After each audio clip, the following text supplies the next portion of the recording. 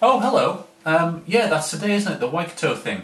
Um, yeah, Nigel asked me to put something together on digital literacies. I should go and do that now. So pretty much everything we do nowadays has got something to do with the digital world, the digital realm. You don't have to just love digital devices to use them pretty much all the time. So for example, um, my phone has got a digital display on. I have to understand the menu system to deal with that. Um, that's just a normal standard phone. And then I've got a, a touchscreen PC in my kitchen. Well, okay, not everyone's got a touchscreen PC in their kitchen, but why have I got that? Well, because it's easy to access recipes and music um, and see what the weather is and everything like that, to keep up to date with the rest of my family as well through social networks and stuff. So, almost everything we use today has got some kind of digital element in it, and you don't have to be a complete geek to want to be digitally literate. I mentioned digital literacy there, but what I really mean are digital literacies. Because, for example, messing about with an iPad is different from using a television, is different from using other devices as well.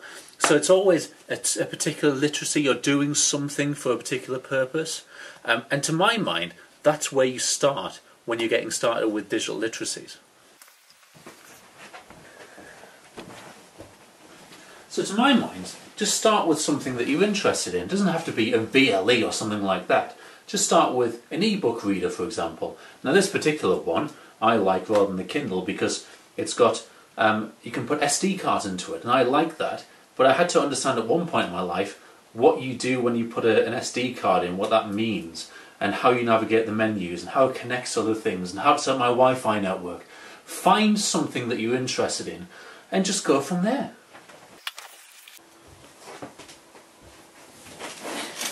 So at the end of the day, digital literacies aren't something that are clean and polished and nicely packaged up that you have to just learn and imbibe. They're something which come from within you, something which is based on interest and things that you enjoy doing.